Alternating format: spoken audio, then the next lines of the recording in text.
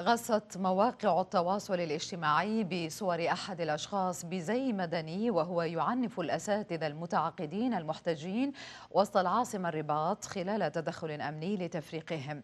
وقد نددت منظمات حقوقية ونقابية بتسخير من تقول إنهم أعوان السلطة نددت بقمع الأساتذة فيما طلب وزير حقوق الإنسان المغربي بفتح تحقيق في هذا الموضوع ومعاقبة الجاني.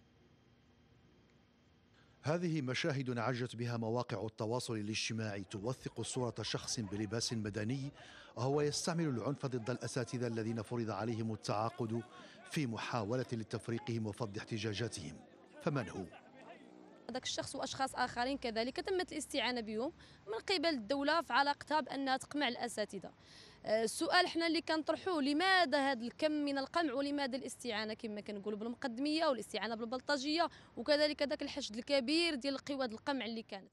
منظمات حقوقية وصفت ذات الشخص بالمجرم وذهبت إلى كونه واحدا من أعوان السلطة الذين يتم تسخيرهم لتعنيف المتظاهرين وإسقاطهم أرضا لتمكين عناصر الأمن من إلقاء القبض عليهم ودعت الجهات القضائية إلى فتح تحقيق لمعاقبتهم ما معنى وجود أعوان السلطة إلى جانب قوات الأمن هدفهم هو الاعتداء على النساء ورجال التعليم وتعنيفهم بالإضافة إلى قمعهم بأساليب دنيئة.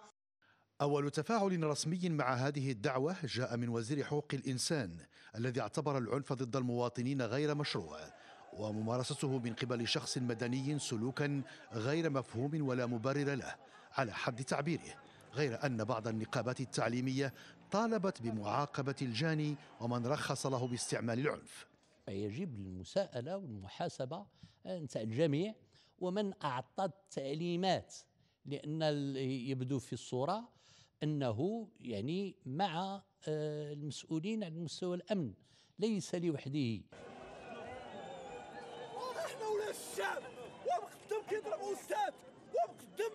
كيضرب أستاذ وحشومه الاستنكار الشعبي الشديد الذي آثاره تدخل أحد أعوان السلطة للتنكيل بالأساتذة لا يستثنى منه أمثاله من مساعد رجال السلطة الذين مارسوا شتى أنواع التعنيف من ضرب وسحل على الأرض وتحرش بالأساتذة رجالا ونساء حسب تنسيقية الأساتذة المتعاقدين.